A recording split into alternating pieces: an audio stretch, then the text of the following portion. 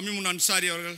பேரவை துணைத் தலைவர் அவர்களே இந்த மானிய கோரிக்கை விவாதத்தில் பேசிட வாய்ப்பளித்தமைக்காக எனது நன்றியை நான் முதலிலே தெரிவித்துக் கொள்கிறேன்.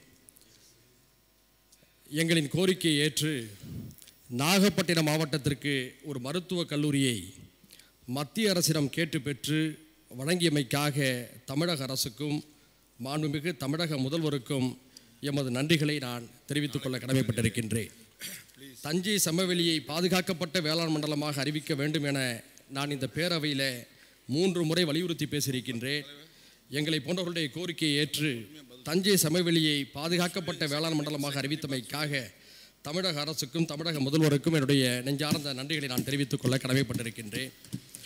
உலாமாக்களுக்கு ஓய்வூதியத்தை ரூபாய் ஆயிரத்தி ஐநூறிலிருந்து மூவாயிரமாக உயர்த்தி கொடுத்ததற்கும் உலமாக்கல் ஸ்கூட்டி வாங்க ரூபாய் இருபத்தையாயிரத்தை மானியமாக அறிவித்ததற்கும் ஹஜ்ஜி புனித பயணிகள் தங்கும் வகையில் தமிழக ஹஜ்ஜி கமிட்டிக்கு ஹஜ் இல்லம் கட்ட ரூபாய் பதினைந்து கோடி அறிவித்ததற்கும் எனது மனமார்ந்த நன்றிகளை தெரிவித்துக் கொள்கிறேன். இவை மூன்றும் நான் இந்த அவையில் பேசியது மட்டுமல்ல முதல்வரை நேரில் சந்தித்தும் கொடுத்த கோரிக்கைகளாகும். இதற்காக முதல்வருக்கு நன்றியை தெரிவித்துக் கொள்வதுடன் இந்த கோரிக்கைக்கு துணை நின்றதற்காக மாண்புமிகு அமைச்சர் நிலோஃபர் கபில் அவர்களுக்கும் என்னுடைய நன்றியை நான் இங்கே தெரிவித்துக் கொள்கிறேன். பள்ளிவாசல்கள் மற்றும் தேவாலயங்களுடைய பராமரிப்பு நிதியை தலா ஐந்து கோடியாக உயர்த்தியமைக்காகவும் எனது நன்றிகளை இந்த அரசுக்கு நான் தெரிவித்துக் கொள்ள கடமைப்பட்டிருக்கின்றேன்.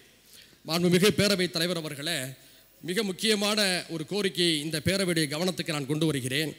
ஆங்கிலேயர் ஆட்சியிலே ஆயிரத்தி தொள்ளாயிரத்தி முப்பத்தி ஒன்றாம் ஆண்டு கடைசியாக சாதிவாரி மக்கள் தொகை கணக்கெடுப்பு நடத்தப்பட்டது. தமிழ்நாட்டில் ஆயிரத்தி தொள்ளாயிரத்தி இருபத்தி ஏழு முதல் ஆயிரத்தி தொள்ளாயிரத்தி ஐம்பது வரை நூறு சதவீத இடஒதுக்கீடு அமலில் இருந்தது. அது மீண்டும் தேவை. அதுதான் உண்மையான சமூக நீதியாகும். இடஒதுக்கீடு பெறும் சமூகங்கள் அவர்களின் மக்கள் தொகை அடிப்படையில் அந்த இடஒதுக்கீடுகளை பெறுகிறதா என்பதற்கு அதுதான் அளவுகோலாக இருக்க முடியும். அறுபத்தி ஒன்பது செய்த இடஒதுக்கீட்டு வழக்கை விசாரித்த உச்சநீதிமன்றம் சாதிவாரி மக்கள் தொகை கணக்கெடுப்பை நடத்தி இடஒதுக்கீட்டின் அளவை தீர்மானிக்க வேண்டும் என்று கூறியுள்ளது. இதை உணர்ந்ததால் தான் கடந்த ஜனவரி எட்டாம் தேதி மகாராஷ்டிரா சட்டப்பேரவையிலும் பதினொன்றாம் தேதி ஒரிசாவுடைய சட்டப்பேரவையிலும் ரெண்டாயிரத்தி இருபத்தி ஒன்றாம் ஆண்டு கணக்கெடுப்பை சாதிவாரி கணக்கெடுப்பாக நடத்த வேண்டும் என்று அந்த மாநில சட்டப்பேரவையிலே தீர்மானங்களை நிறைவேற்றியுள்ளார்கள். இந்தியா முழுக்க சுமார் ஏழாயிரத்தி இருநூறுக்கும் அதிகமான சாதிகள் உள்ளதாக மாநில அரசுகள் தகவல் தெரிவித்திருக்கக்கூடிய நிலையில் பொருளாதாரத்தில் சமூக நீதி கிடைக்க இக்கோரிக்கையை வலியுறுத்தி தமிழக சட்டமன்றத்தில் தீர்மானத்தை நிறைவேற்ற வேண்டும் என்று நான் வலியுறுத்தி கேட்டுக்கொள்கிறேன். அதே போன்று கல்லர் சீர்திருத்த பள்ளி இப்பொழுது போதிய கட்டமைப்புகளும் போதிய ஆசிரியர்களும் இல்லாத நிலையில் இருந்து கொண்டிருப்பதாக எனக்கு பலரும் மனு செய்திருக்கிறார்கள். என்னுடைய அருமை நண்பர் முக்குளத்தூர் புலிப்படையுடைய தலைவர் கருணாஸ் அவர்களும் அதை என்னுடைய கவனத்துக்கு கொண்டு வந்தார். எனவே அந்த சமூக மக்களுடைய அந்த கோரிக்கையை தமிழக அரசு கவனத்திலே எடுத்து அதை சீர் செய்ய வேண்டும் என்று கேட்டுக்கொள்கிறேன். சலவை தொழில் செய்து வரும் வண்ணார் சமூகத்தை மிகவும் பிற்படுத்தப்பட்டோர் பட்டியலில் இணைத்து அவர்களுக்கு தனி ஒளி உள் இடஒதுக்கீட்டை வழங்க வேண்டும் என்றும் அதற்கான ஆணையும் மாண்புமிகு தமிழக முதல்வர் அவர்கள் வழங்க வேண்டும் என்று அந்த நேரத்தில் கேட்டுக்கொள்கிறேன். மாண்புமிகு பேரவை துணைத் தலைவர் அவர்களே திருமலை கல்லர் வகுப்பினரின் கல்வி நிலையினை மேம்படுத்தும் பொருட்டு அவ்வகுப்பினர் பெருமளவு வசிக்கக்கூடிய மதுரை தேனி மற்றும் திண்டுக்கல் மாவட்டங்களில் மிகவும் பிற்படுத்தப்பட்டோர் மற்றும் சீர்மரபினர் நல கட்டுப்பாட்டின் கீழ் இரநூத்தி தொண்ணூத்தஞ்சு கல்லன் சீரமைப்பு பள்ளிகள் செயல்பட்டு வருகின்றன. இதில் இரநூத்தி பதிமூன்று தொடக்க பள்ளிகள் இருபத்தி ரெண்டு நடுநிலைப் பள்ளிகள் இருபத்தி ரெண்டு உயர்நிலைப் பள்ளிகள் மற்றும் முப்பத்தி எட்டு மேல்நிலைப் பள்ளிகள் அடங்கும். இந்த பள்ளிகள் இப்பள்ளிகளில் மொத்தம் இருபத்தி நான்காயிரத்தி நானூற்றி எண்பது மாணவ மாணவியர்கள் கல்வி பயின்று வருகின்றனர். ஆயிரத்தி நானூற்றி இருபத்தி எட்டு ஆசிரியர்கள் பணியாற்றி வருகின்றனர். ரெண்டாயிரத்தி பதினொன்று பன்னெண்டாம் ஆம் ஆண்டில் மதுரை தேனி மற்றும் திண்டுக்கல் மாவட்டங்களில் தலா ஐந்து பள்ளிகள் வீதம் மொத்தம் பதினஞ்சு ஆரம்ப பள்ளிகளில் ஆ- ஆங்கில வழி மழலையர் வகுப்புகள் தொடங்கப்பட்டன. தற்பொழுது இந்த பள்ளியில் எல்கேஜி முதல் ஐந்தாம் வகுப்பு வரை ஆங்கில வழி வகுப்புகள் நடைபெற்று வருகின்றன. அதே போன்று ரெண்டாயிரத்தி பத்தொன்பது ரெண்டாயிரத்தி இருபதாம் கல்வியாண்டில் பதினைந்து அரசு கல்லர் மேல்நிலைப் பள்ளிகளில் ஆறாம் வகுப்பு ஆங்கில கல்வி வழியாக வகுப்புகள் தொடங்கப்பட்டுள்ளன. இந்த மாணவ மாணவியருக்கு அரசு அரசு உதவி பெறும் பள்ளிகளில் பயிலும் மாணவ மாணவியர்களுக்கு வழங்கப்படுவதை போன்று சிறப்பு ஊக்கத்தொகை காலணி மடிக்கணினி புத்தகப்பை கணித உபகரணங்கள் வண்ண பென்சில்கள் உலக வரைபட புத்தகங்கள் அனைத்துமே பள்ளி கல்வித்துறையில் வழங்கப்படுவதைப் போல நம்முடைய கல்லர் சீரமைப்பு பள்ளி மாணவ மாணவியருக்கும் வழங்கப்பட்டு வருகின்றது என்பதை இந்த நேரத்திலே தெரிவித்துக் கொள்கின்றேன். திருமண உதவித்தொகை வழங்கும் திட்டத்தில் வருமான சான்றை இணைத்து அனுப்புவதில் காலதாமதம் ஏற்படுவதால் பல மனுக்கள் நிராகரிக்கப்படுகிறது. வருமான சான்றிதழ் அதிகாரிகளிடம் வாங்க இயலாத நிலையும் உள்ளது. எனவே இவ்விஷயத்தில் ஆன்லைன் முறையை மேம்படுத்த வேண்டும் என்று கேட்டுக்கொள்கிறேன். அதாவது ஆன்லைனிலே பதிவு செய்யும் போது அனைத்து சான்றுகளும் இணைக்கப்பட்டால் தான் விண்ணப்பம் ஏற்கப்பட வேண்டும். ஏதேனும் ஒரு சான்று குறைக்கப்பட்டால் அந்த மனுவை அப்போதே ஏற்காத தொழில்நுட்பத்தை ஆன்லைனிலே புகுத்த வேண்டும் என்று மாண்புமிகு தமிழக முதலுடைய கவனத்துக்கு இதை கொண்டு வருகின்றேன். அடுத்து கொரோனா வைரஸ் பீதி காரணமாக உலகமெங்கிலும் பல்வேறு கட்டுப்பாடுகள் விதிமுறைகள் உருவாக்கப்படுகின்றன. இந்த நேரத்தில் நம்முடைய நாட்டில் நிலவக்கூடிய அசாதாரணமான சூழ்நிலை கருத்திலே கொண்டு ஒன்பதாம் வகுப்பு வரை படிக்கும் அனைவருக்கும் தேர்வுகளை ரத்து செய்து அனைவருக்கும் தேர்ச்சி என்ற ஒரு அறிவிப்பினை இந்த தமிழக அரசு செய்தால் அது மாணவர்களுக்கு ஒரு மிகப்பெரிய பயனுள்ளதாக இருக்கும். நாடு முழுக்க ஒரு அசாதாரணமான நிலை ஏற்படுகின்ற காரணத்தினாலே எல்லா துறை குறிப்பாக கல்வித்துறையிலே மிக சிறப்பான முன்முயற்சிகளை சீர்திருத்தங்களை நம்முடைய அமைச்சர் அவர்கள் செய்து வருகிறார்கள். இந்த விவகாரத்தையும் அவர் கவனத்தில் கொள்ள வேண்டும். அதுபோல் தேவை ஏற்பட்டால் பத்து மற்றும் பன்னிரெண்டாம் வகுப்பு தேர்வுகளையும் ஒத்திவைக்க வேண்டும் என்றும் மாண்புமிகு தமிழக கல்வி அமைச்சர்களுடைய கவனத்துக்கு நான் கொண்டு வருகிறேன். மாண்பு பேரவைத் தலைவர்களே மாண்பு முதலமைச்சருடைய கவனத்திற்கு அது எடுத்து செல்லப்பட்டிருக்கிறது. அவர் அதை பற்றி விளக்கமாக அவர் ஆய்ந்து அதை பற்றி முடிவுகள் மேற்கொள்வார்கள். மாண்புமிகு முதலமைச்சர் அவர்கள். மாண்பு பேரவைத் தலைவர்களே பத்தாம் வகுப்பு பொதுத் தேர்வினை தள்ளி வைப்பது குறித்து கொரோனா வைரஸ் நோய் தொற்றினை தடுக்கும் முன்னெச்சரிக்கை நடவடிக்கையின் தொடர்ச்சியாக பத்தாம் வகுப்பு பொதுத் தேர்வு எழுதும் ஒன்பது லட்சத்தி நாற்பத்தி ஐயாயிரம் மாணவர்கள் நலன் கருதி தமிழ்நாடு மற்றும் புதுச்சேரியில் இருபத்தி ஏழு மூணு ரெண்டாயிரத்தி இருபது முதல் பதிமூணு நாலு ரெண்டாயிரத்தி இருபது வரை நடைபெறுவதாக இருந்த பத்தாம் வகுப்பு பொதுத் தேர்வுகள் தள்ளி வைக்கப்படும். இத்தேர்வுகள் தமிழ் புத்தாண்டு தினத்திற்கு பிறகு அதாவது பதினஞ்சு நாலு இரண்டாயிரத்தி இருபது அன்று தொடங்கும் என்பதை தெரிவித்துக் கொள்கின்றேன். பதினொன்று மற்றும் பன்னெண்டாம் வகுப்பு பொதுத் தேர்வுகள் தற்போது நடைபெற்று வருகின்றன. பதினொன்றாம் வகுப்பிற்கு இருபத்தி மூணு மூணு ரெண்டாயிரத்தி இருபது மற்றும் இருபத்தி ஆறு மூணு ரெண்டாயிரத்தி இருபது நடைபெறவுள்ள பொதுத் தேர்வுகளும் பன்னெண்டாம் வகுப்பிற்கு இருபத்தி நாலு மூணு ரெண்டாயிரத்தி இருபது நடைபெறவுள்ள பொதுத் தேர்வுகளும் திட்டமிட்டபடி நடைபெறும் என்பதை இப்பேரவைக்கு தெரிவித்துக் கொண்டேன். மாண்புமிகு பேரவை துணைத் தலைவர் அவர்களே மாண்புமிகு உறுப்பினர் அவர்கள் தாலிக்கு தங்கம் திட்டத்தில் விண்ணப்பங்கள் ஆன்லைனில் பதிவு செய்யும் பொழுது சில மாற்றங்களை கொண்டு வர வேண்டும் என்று சொல்லியிருக்கிறார்கள். அது நேஷ்னல் இன்ஃபர்மேஷன் சென்டருக்கு இது குறித்து மாற்றங்கள் செய்வதற்கு அறிவுறுத்தப்பட்டிருக்கிறது என்பதை மாண்புமிகு பேரவை துணைத் தலைவர் வாயிலாக மாண்புமிகு உறுப்பினர் அவர்களுக்கு தெரிவித்துக் கொள்கிறேன். நமது பாரம்பரிய சித்த வைத்தியர்கள் சிறப்பான மருத்துவ பயன்பாடுகளை பின்பற்றி வருகிறார்கள்.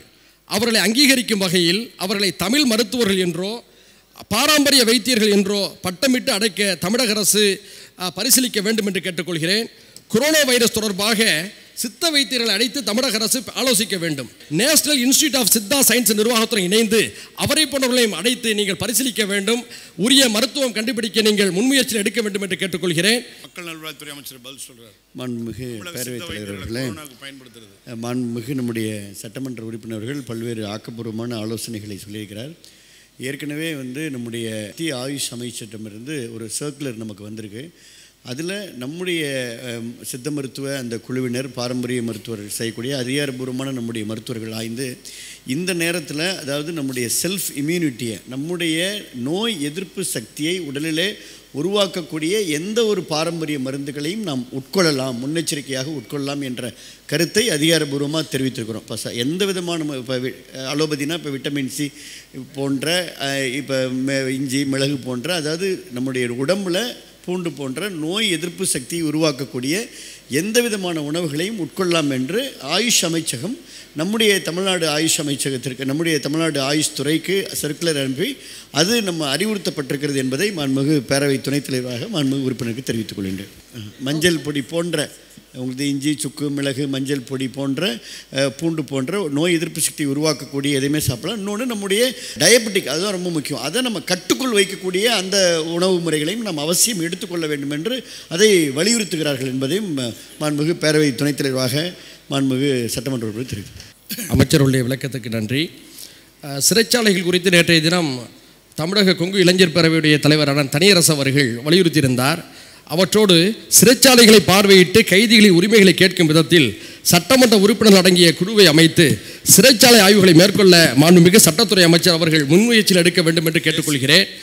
நான் ஏற்கனவே காவிரி பாதுகாக்கப்பட்ட பகுதியை காவிரி பாதுகாக்கப்பட்ட வேளாண் மண்டலமாக அறிவித்திருக்கக்கூடிய நிலையில் அந்த கோரிக்கைக்காக எண்ணற்ற அரசியல் தலைவர்கள் விவசாயிகள் மனித உரிமை ஆர்வலர்கள் பொதுமக்கள் களத்தில் இறங்கி போராட்டங்களை சந்தித்து வழக்குகளை பெற்றிருக்கிறார்கள்.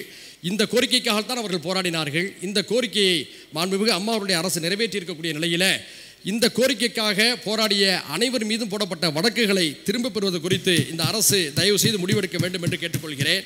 மாண்புமிகு பேரவை துணைத் தலைவர் அவர்களே மாண்பு உறுப்பினர் அவர்கள் பேசுகிற பொழுது ஹைட்ரோ கார்பன் மீத்தேன் போன்ற திட்டங்கள் திட்டங்களுக்காக காவிரி டெல்டா பகுதிகளில் போராடியவர்கள் மீது அதற்காக போராட்டங்கள் நடத்திய விவசாயிகள் மீது வழக்கல் போடப்பட்டிருக்கிறது. அந்த வழக்கில் என்ன நிலையில் இருக்கிறது?